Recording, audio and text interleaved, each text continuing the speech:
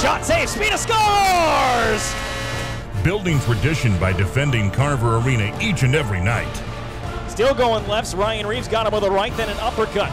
Building tradition by honoring our past. That out front shot. Score! Peoria wins! 1991 Turner Cup Champions Canvas Giveaway Night, Friday, February 25th at 7.05. Call 676-1040 for tickets or visit rivermen.net.